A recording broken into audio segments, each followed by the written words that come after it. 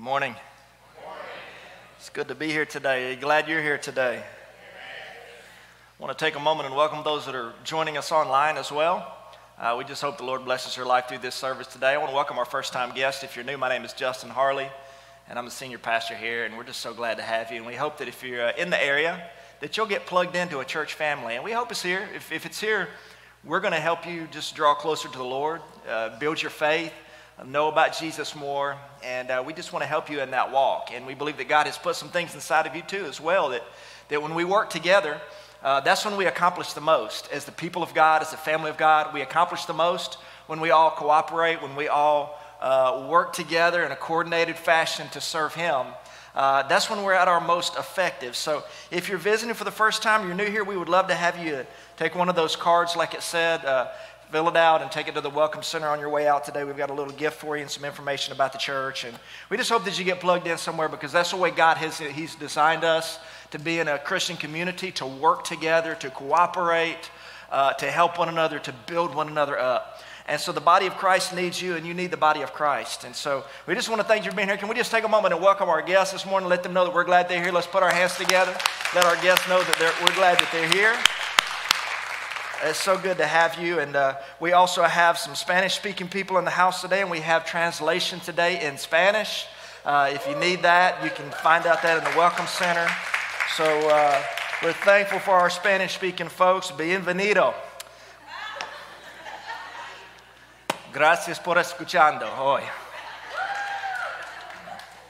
I could preach this whole thing in Spanish if I want to, but it wouldn't make any sense, so I'll do it in English. So. Well, I'm excited today about sharing as I've been sharing on faith.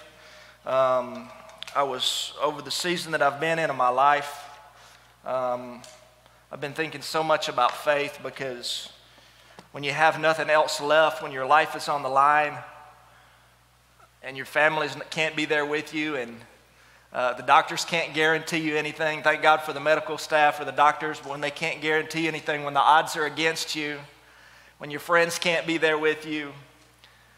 All you have then is your faith, really. That's all you have is your faith. But the good thing about the faith is your faith can save you. Your faith can save you. Your faith can, can heal you. Your faith can bring you out of that situation, can bring you through that situation. And so I've been thinking so much about the importance of our faith, how important our faith is. Our faith can move mountains. I want to read a few scriptures to you today. Um, uh, before we do that, I was when I was in college, uh, I heard this story, these stories about uh, this man who had such great faith that he could just pray and instantly things would happen. Uh, that he would pray if it was if he was outside and they were doing something and and the clouds came up or whatever and he he would pray and the clouds would just part. He said, Lord, let your servants be outside in peace today. And the clouds would just part. And, and the, some of the kids at Lee would talk about how great this man's faith was that his faith was so great that when he just prayed, uh, uh, things happened immediately. Miracles happened immediately when he prayed. We were like, wow, that's awesome. I never met the guy, didn't know the guy, and I'm sure he was a man of great faith. But here's the thing is that I always thought when I heard that, but we see people in the Bible as well. I, when I heard that, I always thought, you know, I have faith and I want to have great faith like that. But a lot of times when I pray, the things don't happen immediately. Anybody ever experienced that before? As you pray and the things don't happen immediately, Maybe you're in traffic and you pray for the traffic to part, but it doesn't part. You have to still wait for that traffic. And I'll think about stories in the Bible, stories like uh, Abraham, who was the father of the faith. He was the father of the faith. And yet he was, they were, him and Sarah, they were praying for a son and they waited for 25 years. And I don't think it was because Abraham didn't have any faith. In fact, he, he's the father of the faithful. And it says, the Bible says that Abraham believed God and it was credited to him as, as righteousness. So he believed. He was a man of faith. There wasn't anything lacking uh, in his faith, and yet it took for 25 years for his prayer to be answered. So I believe that you can have great faith and you can pray and sometimes just see these things immediately happen. I've seen that in my life before. I've seen God turn around a situation quickly by praying and believing, but I've also had things in my life that I was praying and believing believing and the situation didn't turn, out, turn around quickly. Maybe I had to wait and maybe I had to be patient and things like that. And so when we're talking about faith, I believe the measure of faith is not how quickly you can get your prayers answered, but the measure of faith sometimes is can I continue to believe, even sometimes when circumstances are going against me? Can I continue to believe God's word? And so I've been studying about, about faith and praying about faith, and I want to just uh, get some script, show us some scriptures today and uh, what faith means. Because here's the thing: let me, uh, what I'm, the faith that I'm talking about today. Let me just demystify that for uh, a few moments. Because what I'm talking about is faith in Jesus Christ. I'm talking about a belief in Jesus Christ, a belief that He's the Messiah, a belief that He's the King of Kings and the Lord of Lords. And I, will get to the main scripture in just a moment, but I want to share the scripture that I didn't put in, uh, in my notes uh, just really quickly. But the Lord dropped this on my heart. Is in Romans chapter 10 uh, and in verse, uh, and in verse 8 um, it says the message concerning faith. we don't have this for the screens, but just listen really quickly. The message concerning faith that we proclaim. Listen to this. Here's the message Paul says. Uh, the message that concerning faith that we proclaim. If you declare with your mouth Jesus is Lord, how many believe that? Would you say that with me today? Jesus is Lord. If you declare with your mouth Jesus is Lord and believe in your heart that God raised him from the dead, you will be saved. For it is with your heart that you believe and are justified, and it is with your mouth that you profess your faith and are saved. As scripture says, anyone who believes in him will never be put to shame. And so there's what Paul says the message concerning faith. We, we think about, man, I want to have great faith. How many want to have great faith? I want to have great faith. But here's what I want to show you is that the faith that the Bible says if you, if, you, if you confess with your mouth that Jesus is Lord and believe it in your heart, that you will be saved. Thank God. Thank God for that. And so I want to talk today about growing our faith and increasing our faith. We were um, several months ago and we were at a staff uh, get together, a staff retreat. and We were listening to some videos, some teachings, and this man who is a pastor of the largest church in Sweden I've heard him speak several times, listen to him on video and things like that. Uh, Joakim Lundqvist is his name. But he was talking about this thing that happened many years ago in their church that is in Sweden. Uh, I'm sure it's a very tough country to, to minister the gospel in of Jesus Christ. There's not a church on every corner in Sweden, but he has a large church there uh, in one of the large cities. And um, he was talking about this, uh, this man, this Muslim man, that he went to some, he didn't know anything about church, he didn't know anything about their church, He didn't really know anything about Christianity. But he went to sleep one night and he had a dream. And in his dream, he said all he saw is he saw this huge room. He didn't know where it was, he'd never seen it before, but he saw this massive room. And there was a bunch of people inside the room and they had their hands raised up like that and they were singing. And that's all that happened in the dream. And he woke up and he didn't know what in the world it meant. He felt like God was trying to tell him something, but he didn't know anything about faith other than the Islamic faith. Didn't know anything about Christianity. He just felt like God was trying to tell him something, but he had no idea what he was supposed to do with it or what it meant. And so the next night he went to sleep and he had this dream. And in the dream, the same thing. He saw this large room and it just people in there lifting their hands and they were singing. He couldn't hear what they were saying or anything like that. He just saw a large room full of people. And as he woke up the next morning, it disturbed him, but he had no idea what it meant and no idea what to do with it because he had no context. And so the next night on Saturday night, he went to sleep and he had this dream again in this large room. He saw the same large room. And he, go, and he woke up on Sunday morning. He said, I got to do something about this. I mean, I'm supposed to go to this place or something. So he went and got on the train and rode into the city. And he didn't know what to do. He was just basically acting in a faith and he didn't know what he was supposed to be doing. But he knew he kept having this dream and he felt like God was trying to tell him something and get through to him somehow, but didn't know what it meant. He had zero context. So he just rode the train and rode the train. He didn't know what to do. He, so he just rode the train and rode the train. He was looking for a sign or anything. So he just kept riding the train and he I think rode it for hours till he got to the last stop and he got off at the last stop and he, I had, he had no idea what to do. So he said he got off and when he got off, there was a man standing there and, and looking at him and, and he just started to walk up to the man, and the man was looking at him. And the man said to him, Young man, uh, you went one stop too far. You need to get on that train and go back. And that's all the guy said to him. He was like, all right. So he got back on the, tr- on the other side, on the train, and went back one station and got off. And when he got off, he was looking around and, and he didn't know where to go. And he was talking to people. He started talking to people. And he, said, and he asked somebody, Do you know there's a building? Uh, there's some building I'm trying to get to. Is there a big building around here? And these people are, it's full of people inside of it lifting their hands and singing.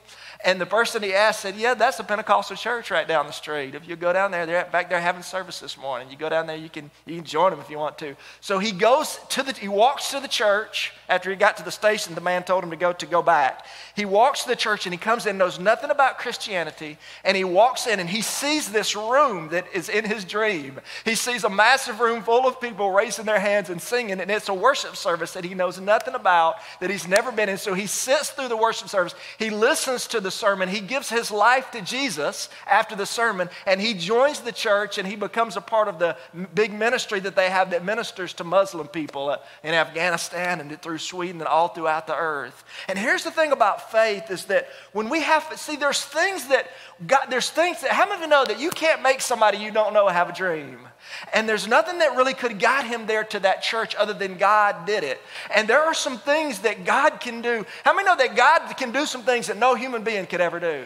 Some things that are impossible. And so in our lives, what we need sometimes in our lives is we need God to do the impossible. When, because here's the thing when God starts doing the impossible, when God can do things in a moment in somebody's life, save somebody that we couldn't do no matter how much effort we put on, no matter how, what kind of advertising campaign, no matter what kind of inviting, God can do the impossible. And as the people of God, that's what we need from God. We need Him to do the impossible. And we need the faith to believe it, to believe that He can do the impossible.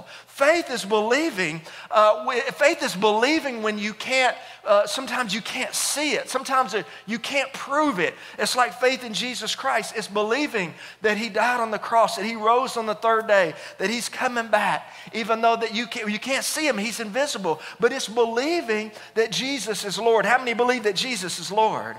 And that's faith. And the faith is powerful. We've been I've been talking over the past few weeks about what uh, Peter called like precious faith, a faith of equal standing as the apostles. And Jesus, in fact, he's, he said, he even told the, he told the disciples that you don't need a whole lot of it because it's so powerful, you don't need a whole lot of it. Let me read you this story. This is our uh, main scripture this morning, as I want to show you how powerful faith is. And I want to show you, even if you have a little faith, I want to show you how far it can go in your life. Matthew 17 and uh, in verse 14, it says, When they came uh, to the crowd, a man approached Jesus and knelt before him. Lord, have mercy on my son, he said. He has seizures and is suffering greatly. He often falls into the fire or into the water. And I brought him to your disciples, but they could not heal him. And here's what Jesus said You unbelieving and perverse generation. How long shall I stay with you? How long should I put up with you? Bring the boy here to me.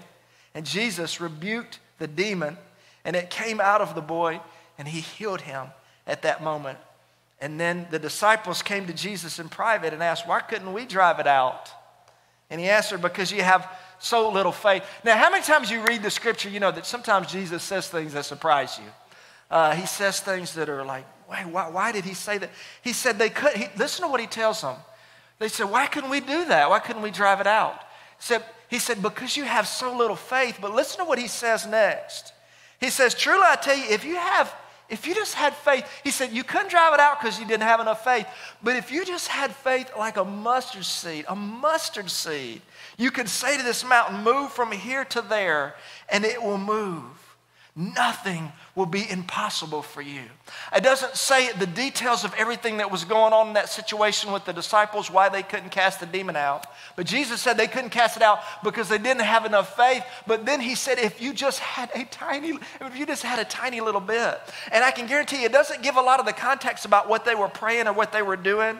But I can guarantee you two things is that number one, they didn't have any power to drive that demon out in their own strength and their own flesh. The other thing thing that I can guarantee you is the Holy Spirit had the power, to, had absolute authority over that demon to drive that demon out. So even though it doesn't give a lot of context, I can guarantee you in something they were doing, they, were try, they had heard Jesus pray a prayer, they had seen a formula, there was something that they were trying to rely on themselves and they couldn't drive the demon out. But I can guarantee you, if they were relying on the power of the Spirit, of the Holy Spirit, that Holy Spirit has complete authority over that demon and could have driven it out. And Jesus said you couldn't drive it out because you didn't have enough faith. But even if you had a mustard seed, he's using an analogy with the mustard seed in the mountain, and he's talking about just a small amount of belief that can see things that are accomplished that are seemingly impossible. And he's talking about the power of faith. And here's the thing about having great faith. How many want to have great faith in your life? You want your faith to grow and increase. I want my faith to increase.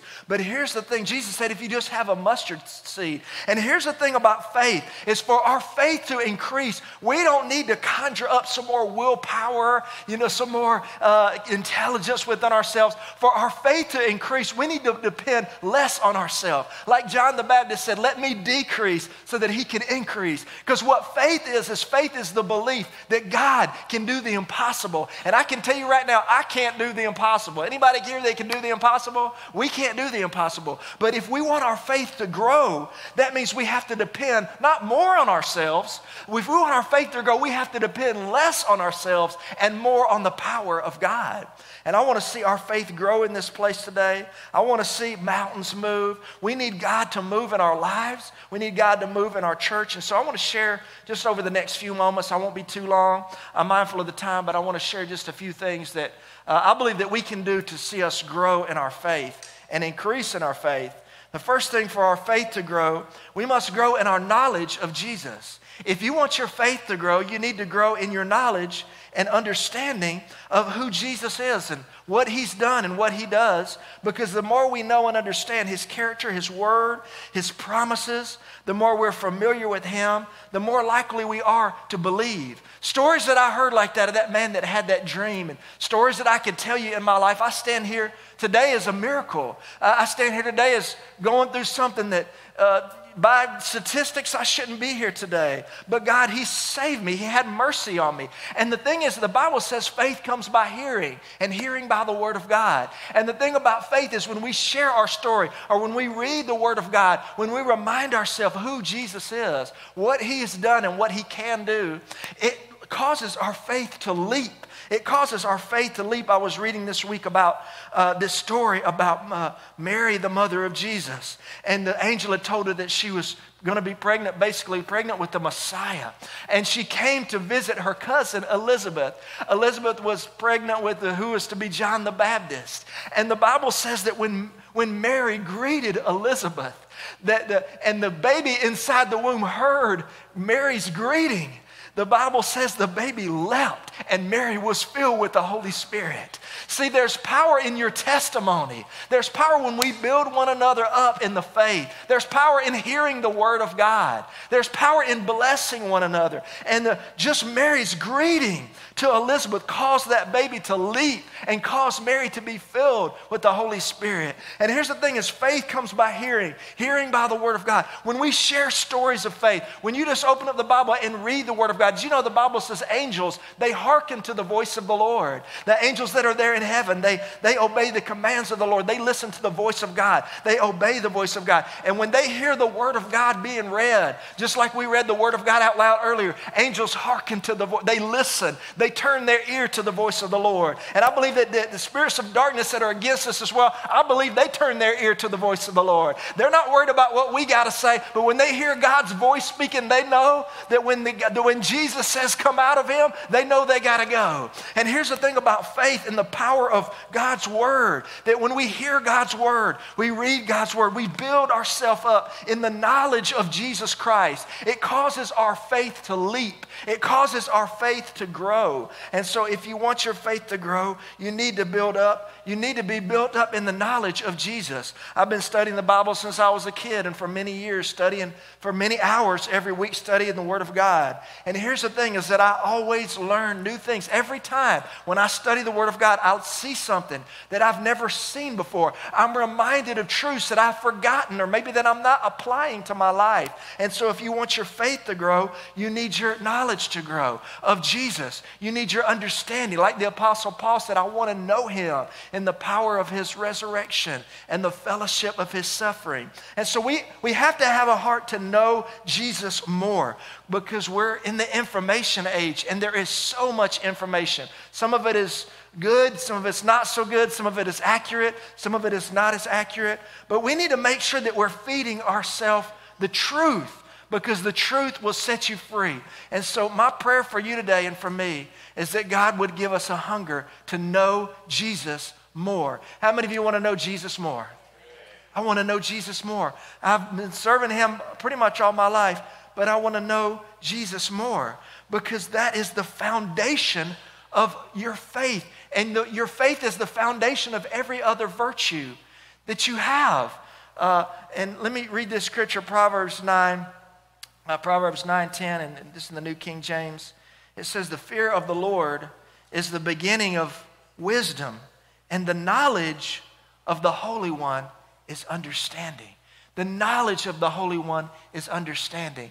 And so, the, one of the most important things about your life is what do you believe? What do you believe about Jesus? Because this is what the foundation, this is what your foundation, I, I feel such a passion for these young, young, our young adults. We had a group of young adults over at our house on Friday night, and it was so much fun. But I feel such a passion for them because they're being bombarded at sometimes early middle school, elementary school, high school, and the university. They're being bombarded that there's no truth, that everything is relative. And then they get in a jam, they get in a crisis, and they have nothing to hold on to. I thank God when I was in that ambulance, I didn't know I was going to live or die, but I knew I had something to hold on to. I knew that I had my faith. And I'll tell you, that's the foundation Paul said these three things remain faith, hope, and love, and the greatest is love because love is faith in action. But here's the thing the greatest might be love, but faith is the foundation. It is like the foundation of any house. Jen and I, we used to buy some fixer upper houses and things like that, and, and we could do a little painting and different things. I'm not very, we're not very good at it, but she's better at me than most of the stuff. When I need a light fixture replaced, I call Jenna. She's the one that replaces them.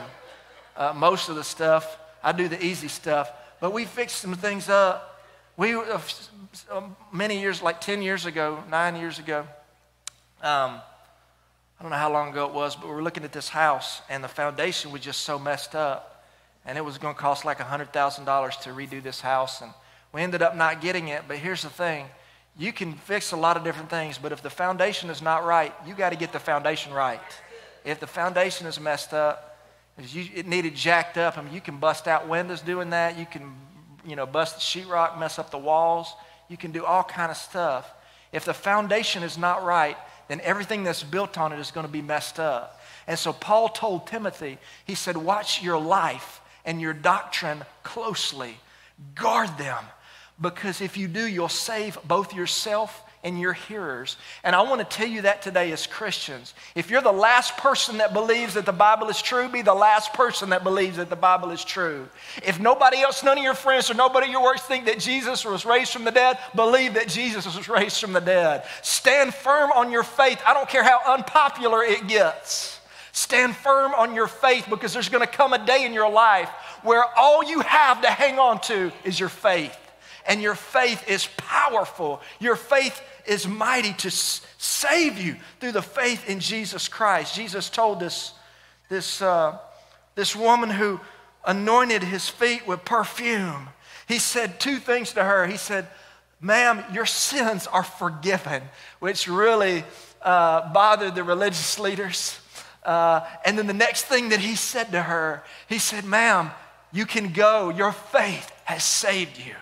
And so that faith is a belief the faith in Jesus is the belief that Jesus is Lord, that He died on the cross, that He was raised from the dead by the power of the Holy Spirit on the third day, that He's seated at the right hand of the Father and He's returning again for us. And that faith is powerful to save you. And I'm telling you, you don't, like Jesus said, you don't need a whole lot of it. You just need a mustard seed to believe that he is alive and it can move mountains. It can do things that are impossible. It says in 2 peter 3 17 and 18 says you therefore beloved knowing this beforehand take care that you're not carried away with the error of lawless people and lose your own stability. Don't get carried away with everything that's going on, all the teaching, all the things that are going on. Stand with the Word of God. Here's what it says in 18 But grow in the grace and knowledge of our Lord and Savior Jesus Christ. To Him be the glory, both now and to the day of eternity. Amen. And so we need to go on here for faith. For our faith to grow, we need our knowledge of Jesus to grow. We need our knowledge of the Word of God to grow. We need our understanding of the Word of God to grow. And secondly, for our faith to grow, we need our dependence upon Jesus. We need to grow in our dependence upon Jesus. We need to depend on him more and more. And here's the thing is that we these the disciples they couldn't cast the demon out in their own power. They could only cast the demon out in the power of the holy spirit. And so evidently they weren't depending on the power of the holy spirit.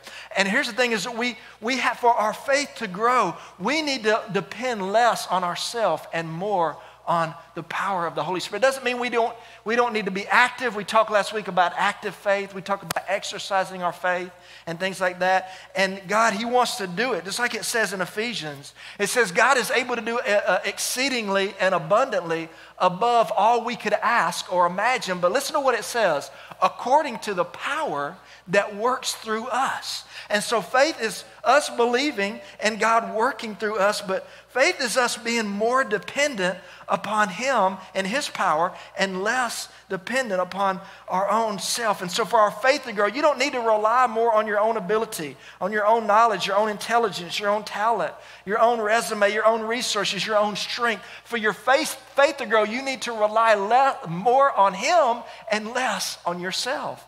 We need to rely completely on God. When I was a young man, I would plan these trips. So, this church that I was a part of in Powder Springs, Trinity Chapel, uh, we had about 51, 52 staff members, something like this, and something like that. And, um, and we did a lot of mission trips and things like that. And they started asking me to plan the trips, and I would plan mission trips of 50, 60 kids. We went to different places, and we would do staff retreats. They would ask me to plan them when I was a young man, and I would plan the whole thing for them, and everybody else just got, got to go. And, and I like doing it um, for several reasons. One of the reasons I like doing it was because I, hospitality to get to do something where somebody else can enjoy and somebody else can be blessed and you can get to you know use your gift for the lord to help just bless somebody else that they can have a good time. And i would even fly sometimes i'd go the day before drive or fly if you had to fly. I'd go the day before or a couple days before check the hotel out check restaurants out check things check the routes out. This is before uh, you had voice navigation and things like that. And I would just check things out and I would get, and I would try so hard to make it such a good trip and I would work so hard and things like that. Like I said, one of the reasons I did, I, want, I wanted to serve people, I wanted to, ha- to have a good time. But as a young man, another reason that I really liked doing it, and they kept asking me to lead the trips, and I said, absolutely, I'll lead the trip. One of the reasons that I like doing it is I got to pick the food places, right? Okay? I got to pick the restaurants. And, and that's why I like it. And I got to pick where we went and how many times I, we could eat four times a day if I wanted to. And, and I could pick the places. And one of the reasons, really, that I thought about that I really liked doing it, and I started to realize this, is because when I led it, I got to control where we stayed. I got to control it. And I got to control where we ate. And I got to control what time I got to set the schedule. I could say, we're getting up at 10 o'clock this morning if I wanted to. We're going to take a break. And, and one of the reasons I like to lead it is because when I led it, I could be in control of what was going on and things like that. And I believe a lot of times as human nature, we like to control things, don't we? We like that added sense of security. We like to know that I can handle this. But how many of you know there's things in this world that are outside of your hands? There's things that you cannot control. And the fact of the matter is, when you try to control everything, sometimes I believe we shut God off from what God wanted to do because He wanted to do a miracle, but we had the, we had the wheel. We need to listen to that Carrie Underwood song, Jesus, Take the Wheel. I heard somebody blamed it one time they got in an accident and they said they told Jesus, take the wheel, and he didn't do it. And they blamed it on Carrie Underwood. But here's the thing is a lot of times we're trying to be in the driver's seat. We're trying to be in control when we need to, we need to do what we can do in our own strength, but we need to, we need to surrender. And here's the thing if you want to serve Jesus, you're going to have to surrender. You're going to have to surrender a lot of things about your, your, your, your will and your life and things like that. And you're going to have to become more dependent on Him. And if you want your faith to grow, you're going to have to surrender some things that you can't control. Jeremiah 17, verse 5 says, Thus says the Lord, listen to this, listen to this, thus says the Lord, cursed is the man who trusts in man.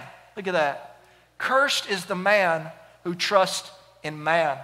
How many times do we do that? How many times do we look to the prices, to the stock market, to the inflation, to the economy, to the work, and we're trusting in man? Cursed is the man who trusts in man and makes flesh his strength, whose heart turns away from the Lord. He's like a shrub in the desert. He shall not see any good come. He shall dwell in the parched places of the wilderness in an uninhabited salt land. And listen to this Blessed is the man who trusts in the Lord, whose trust is the Lord. He is like a tree planted by water that sends out its roots and by the stream and does not fear when the heat comes, for its leaf remains green and it is not anxious in the year of drought. It is not anxious when the prices go up. It is not anxious when inflation happens. It is not anxious when the stock market goes down. It is not anxious because it does not trust in man. Its trust is in the Lord. Its trust is the Lord. If you want your faith to grow, you need to stop trusting in the things around you because your, your, your, uh, your life, your destiny is not in the hand of your supervisor at work. Your destiny is not in the hand of a governor or a mayor or a council. Our destiny is in the hands of the Lord. I'm going to be closing in just a moment, but if we want our faith to go, we need to depend more on Jesus. If we want our faith to grow, the last thing, if we want our faith to grow, we need to grow our love for Jesus. We need to grow our love for Jesus. And love, in that context, agape love in the Bible is not a feeling, love is an action. And we talked about this last week. We talked about exercising our faith because when we exercise our faith, it gets stronger. Just like if you go to the gym and you begin to run and you begin to lift or whatever you begin to do, strength, that it, that it starts to grow and it starts to grow and it starts to strengthen you. And the thing is that when we exercise our faith through love, and I believe that love is paired with faith, love is faith in action. Love is serving others. Second Thessalonians, watch this. Watch how love and faith are paired together. Second Thessalonians 1 3, it says, we ought, we ought always to give thanks to God for you, brothers, as is right, because your faith is growing abundantly, and the love of every one of you for another, one another, is increasing. And so those two things are paired together. Is that our love, it comes out of our faith. Faith is the foundation, but our love comes out of that. And when our love is growing, our love for Jesus, our love for other people, when our love is growing, our faith is growing, and when our love is growing, because when our love is growing, we're practicing. We're exercising and practicing our faith like we talked about last week. I want to pray in just a moment, and, and I want to just ask the Lord to, to increase our faith, but I want, you to, I want you to remember this. Jesus said, All you need, the faith in itself is so powerful because it's the belief that God is going to take care of it. So if you want your faith to increase, it's not that you need to muster up some more willpower. God, yes, God wants us to exercise our faith. And so it's not just about going and sitting on the couch and say, laying in the bed and say, God, when you want to do something, you'll, you know, you'll do it. We have to be continue to do faithfully the things that we know, reading the Bible and praying and coming to church like you're coming and serving and working and doing, the taking care of our responsibilities that God has given us. But here's the thing about faith is that I believe that our faith can get deeper. I believe that our faith can increase. I believe that our trust in Jesus can increase. And I want my faith to grow. I want your faith to grow because God, He can do things. He can do things in a moment that we couldn't do in a lifetime. That's what our world, that's what our country, how many would agree that our country right now needs a miracle? Our country? How many agree our church needs a miracle? How many would, could raise your hand and say, My family would need a miracle? How many of you need something in your life today that you cannot do? You, can't, you just can't take care of it. You try. Maybe you've tried. There's a lot of things that I've tried. I've tried to do it, and I've tried to do it, and I've tried to do it. And when I come to the end of myself, it's like God is He's waiting there saying, when, whenever you get ready, I'll do something that you can't do. And that's what faith is about. That's the faith that saves us, is it does something that's impossible because we couldn't save ourselves. But God did, just like Jesus, with, with man it's impossible, but with God everything is possible. And so that's what faith does for it. It, it saves us. It saves other people. Faith is, it moves, it moves mountains. And so I want our faith to grow. And we're going to pray in just a moment. And and uh, in fact, we've got communion today. Uh, almost forgot about that, but we're going to receive that uh, right here at the end of service in just a moment. But I want to, would you close your eyes with me? And Would you just ask the Lord to help you to grow your faith? But I want to encourage you today that Jesus said if you just have a mustard seed, you, it's not that you need to, man, I need to concentrate harder. I need to pull some more willpower out of myself. When you, if you want to increase your faith today, it's not something that you need to pull out of yourself. It's something that you need to decrease yourself so that God can increase in you. You need to pull from the Lord and lean on Him. Lean on Him. Trust, trust in the Lord with all your heart. Lean not on your own understanding. So today, God, I pray that you would increase our faith. Lord, I pray that you would increase our knowledge for you, God, that I pray that you would give us a hunger for your word and a passion for your word. I pray that you would reveal yourself to us, Lord Jesus, in new and fresh ways. I pray, Lord, that you would just help us to rely on you. God, I pray for miracles. Lord, I pray that your spirit would move in this place and do things that are impossible. Save those that are lost, heal those that are sick, provide in ways, God, that we know that we could have never done it. And so, Lord, just increase our faith, increase our love for one another. God, because as our faith grows, our love for one another increases. And so, Lord, we thank you. We thank you, Lord, for the sacrifice that you made on the cross. God, we thank you for giving your life for us, Lord Jesus. And we do this because of faith. And you go ahead and take that communion. Let's go ahead and get the bread ready. We're just going to receive this together today. We're going to participate in a, uh, an act of worship that's been a part of the church ever since Jesus led the first uh, Lord's Supper on that night when he was betrayed, before he died. And he took the bread and he said, Take, eat, this is my body.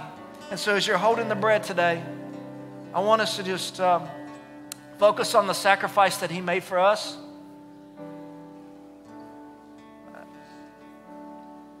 Like I said, when I was, when I was in that ambulance, they said, You're having a, an active heart attack.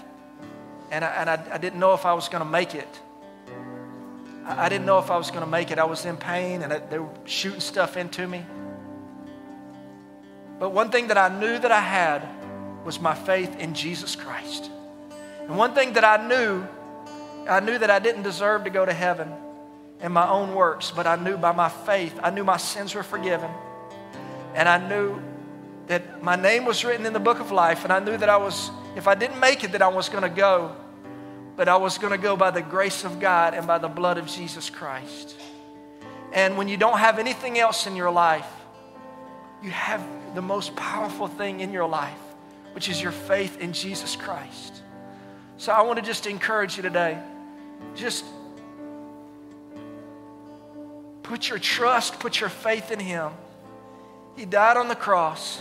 He took the stripes in His body. By His stripes, we're healed. He took the crown of thorns. So your faith is powerful. Even if you don't feel like it's strong today, even a mustard seed is powerful because of the one who we believe in is the King of Kings and Lord of Lords. So, Lord, thank you, Jesus, for going through that torture, the crucifixion. The word excruciating comes from, means out of the cross. It was a, a type of death that was invented to put someone through the most pain, discomfort they, they could possibly go through for the human body. And I thank you, Lord, that you went through it. You were humiliated. You had the sin of the world come upon you. You, you, they, people spat in your face. They ripped your hair out. They punched you in the face. They, and, and one of the most painful things, even maybe, people turned their back. People that were Jesus' friends, they turned their back on Jesus. So thank you, Lord, for what you did on the cross. If it was only for you to get saved, He would have done it. What we used to say when I was a kid, when He was on the cross, you were on His mind. He could see into the future and see that you would sin and see that He wanted to bring you into His family. And He paid it all. He paid it all. When He got finished, He said, To tell Tetelestai, it's paid in full. It's paid in full. So thank you, Lord Jesus. He took the bread, He blessed it, He broke it, and He gave it to the disciples. He said, Take to eat. This is my body. Let's take the bread. And in the same manner, He took the cup and He said, This cup is the new covenant in my blood. Do this in remembrance of me. So, Lord, we thank you for your blood. Because of your blood, we're washed our sins. Blessed is the man whose sins are not counted against him. And I thank you, Lord, that the power, the precious blood of Jesus Christ, the precious blood of Jesus Christ, it has the power to forgive our sins and cleanse us from all unrighteousness. It has the power to save us. And so, Lord, we thank you for your blood. Lord, we receive your sacrifice by faith in Jesus' name. Let's take the cup.